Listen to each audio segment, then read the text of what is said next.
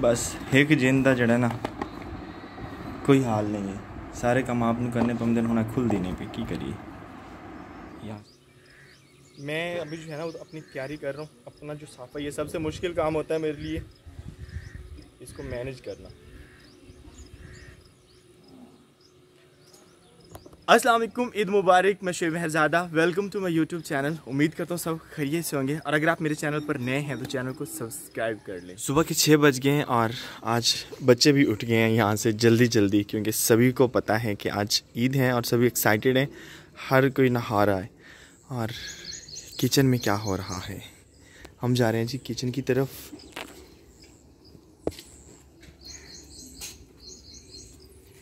Kitchen में आप जो हैं, वो बना रही हैं जी सवैयाँ क्योंकि नमाज़ ईद पढ़ने के लिए जब हम जाते हैं तो उससे पहले मीठा कुछ खा के जाते हैं। तो उसके लिए यहाँ पे सवैयाँ बन रही हैं, माशाल्लाह। जल्दी करें वैसे, भूख भी हमारे यहाँ गाँव में ईद वाले दिन, ईद की नमाज़ पढ़ने से पहले जो सवैयाँ बनाई जाती हैं, वो दूसरी सवैयाँ जिसे हम बिल्ले वाली सवैयाँ कहते हैं। मतलब कि वो हाथ वाली, मशीन वाली जो सवैयाँ होती हैं, जो हम खुद घर में बनाते हैं। जो कि अब की बार हम नहीं बना सके, एक तो हम बिज़ी थे, काफ़ी ज़्यादा आपको पता है।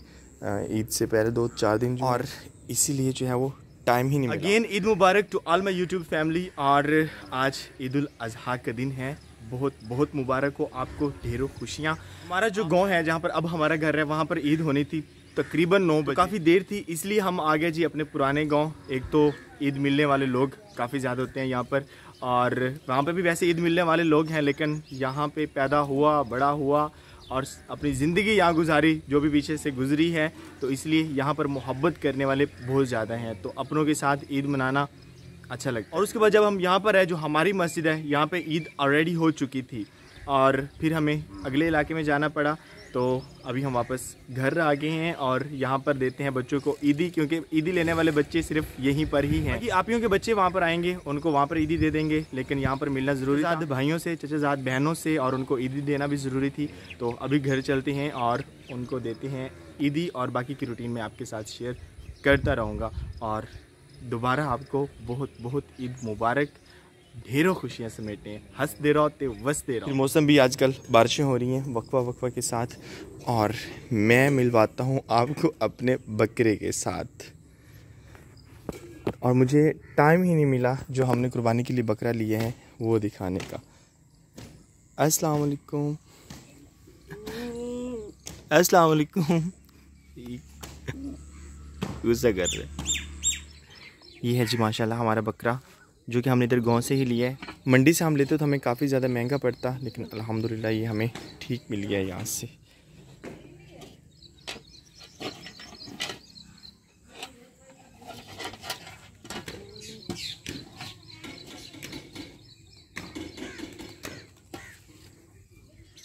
हमारे यहाँ वक्फे वक्फे से बारिश हो रही है, रात को भी काफ़ी ज़्यादा बारिश हुई है, इसीलिए हर चीज़ गीली गीली लग रही है और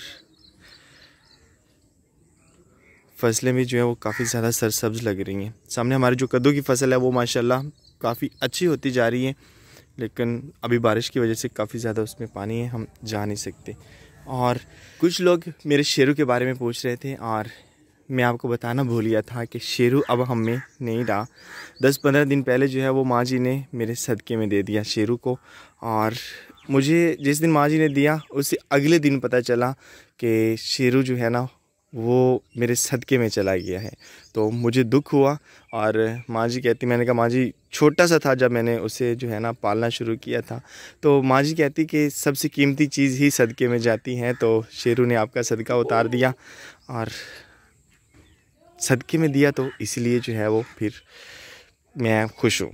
और शेरू भी शायद खुशी ही होगा कि मैं शुएब के सदक़े में आया हूँ। दोस्ती हो तो ऐसी हो। सामने हमारा किचन है, साथ में एक रूम और ये है हमारा स्टोर रूम आज आपको स्टोर रूम भी दिखा दूँ अपना, क्योंकि आज काम है यहाँ पर। और हमारा इस्त्री स्टैंड जो है, वो भी इधर ही पड़ा है स्टोर रूम में। और अभी हमको करने हैं जी कपड़े इस्त्री। चलिए, काफ़ी पुरानी है बेचारी, फिर भी सबसे पहले इनका ये चीज़ ख़राब होती होती है।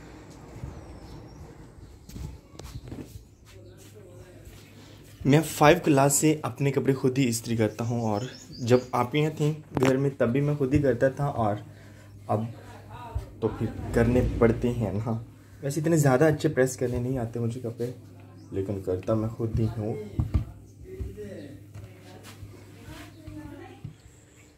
माशाल्लाह, हमारी सवैयाँ जो हैं वो हो गई हैं जी तैयार और साथ साथ तैयारी भी चल रही है और साथ साथ खाना भी चल रहा है क्योंकि टाइम हमारे पास बहुत ही कम है।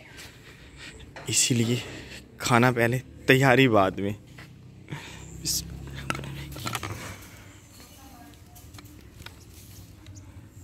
मज़ेदार सवैयाँ। देसी घी में बनी हुई हैं और मज़ा करवा रही हैं। तो कपड़े प्रेस कर लिए हमने और शूज़ भी उठा लिए। अभी जा रही हैं चेंज करने के लिए। हो गए तैयार? नहीं। नहीं, अभी कब होने? अभी तक तैयार नहीं हुए लड़के। और ये रहा हमारा शूज़ हमारे कपड़े, खुद इस तरीके हैं शूज़ कैसे फरारी इतना बड़ा ब्रांड है। वैसे किसी ने कॉपी ही की है।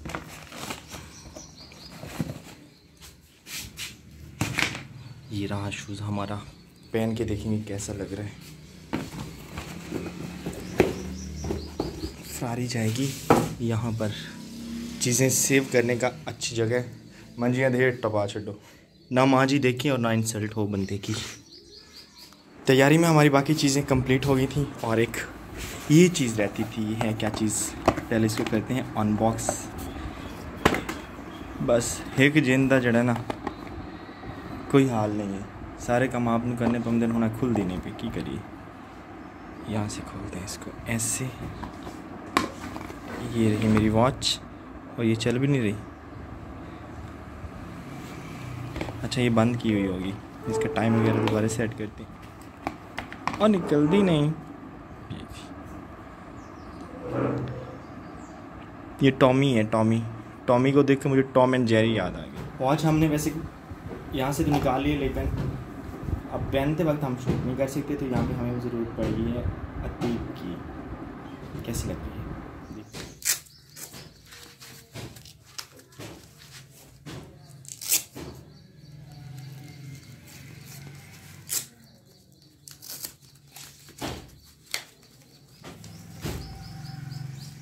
और अभी हम निकलते हैं। कहाँ जाना है?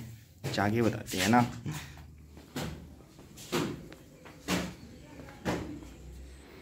हम सवैयाँ वगैरह खाकर जा रहे हैं जी अब नमाज़ से ईद पढ़ने के लिए और बाबा जी भी रेडी हो गए अस्सलाम वालेकुम बाबा जी। ईद मुबारक। सबसे पहले ईद जो है वो बाबा जी से मिल रहे हैं। अजन पढ़ी क्या ही? नहीं बाबा जी मेरे व्यूवर्स ने भी ईद मुबारक आख दियो खैर मुबारक खैर मुबारक।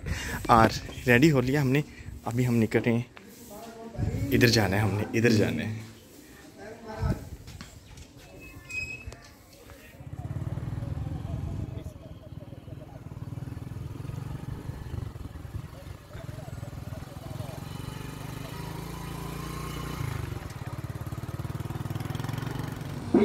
इस मस्जिद में देखो कि मस्जिद आबाद करना अल्लाह की रजा है। एक हदीस मशहूर अगर ईद की नमाज़ पढ़ने के लिए मस्जिद आ गई।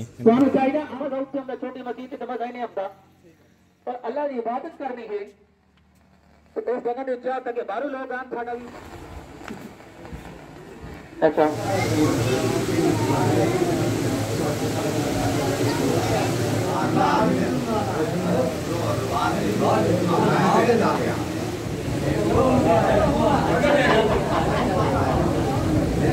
तो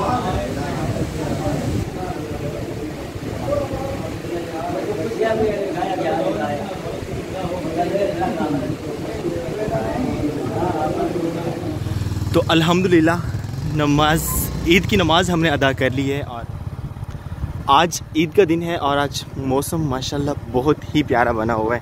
इतनी ज़्यादा गर्मी आज नहीं है। वैसे पहले ये होता था कि जब बादल होते तो हबस होती थी, आज वो भी नहीं है। और अभी हम जो है वो अपने पुराने घर की तरफ़ जा रहे हैं। इसी एरिया में हम आए हुए हैं ईद पढ़ने के लिए और मेरे साथ कौन है? पहुँच के बताता हूँ। यहाँ से आगे तो आपको पता चल गया होगा कि हम अपने एरिया में ही हैं। ये जगह मैंने आपको दिखाई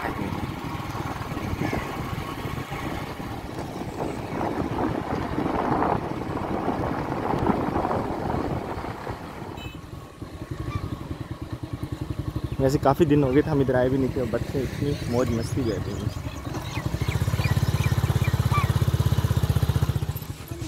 ईद मुबारक। खैर मुबारक जनाब खैर बस चलते हैं। मैं क्या ईद मेले अभी। तू सिबो तो हम अपने घर पहुँच आए हैं जी। और मिलते हैं सभी से ईद और बच्चों को देती हैं ईदी, क्योंकि ईदी मांगने वाले सारे बच्चे यहीं पर रहते हैं। अब्दुल मनान अब्दुल मनान ने भी ईद के कपड़े पहन लिए हैं और हंस रहा बाइक पे झूले लेने के लिए निकला अपने बाबा के साथ। अब्दुल मनान किधर जा रहा है? चलो हो या फिर मिलते हैं। तो हम जा रहे हैं जी अपने घर। काफ़ी दिनों बाद। बच्चे सभी जो हैं वो बाहर गए हुए होंगे घूमने फिरने के लिए, क्योंकि मुझे यहाँ पे कोई बच्चा नहीं मिला। और ईमान यहाँ पे थी, ईमान अपने नान के पिंड गई हुई है। आज देखें, ईदी लेने वाला कोई बच्चा नहीं मिल रहा हमें। इस साइड पे काफ़ी ज़्यादा ग्रीनरी है। और सामने जो है वो छोटा सा तालाब सा है, जो भी हमारे बारिश का पानी होता है, वो उसमें जाके गिरता है। तो ईमान की साइकिल। हमें एक बच्चा मिल गया ईदी लेने वाला। ये है जी आपकी ईदी। आपके हंड्रेड रुपीज़ है। बस चलते हैं। मैं क्या ईद मेले अभी तो उम्मीद करता हूँ आपको आज का व्लॉग पसंद आया होगा। अगर व्लॉग पसंद आया हो तो लाइक एंड शेयर कर दो चैनल को सब्सक्राइब करना ना भूलिएगा। तो मिलते हैं नेक्स्ट व्लॉग में, तब तक अपना बहुत सा ख्याल रखिएगा और दुआओं में याद रखिएगा। अल्लाह हाफिज़।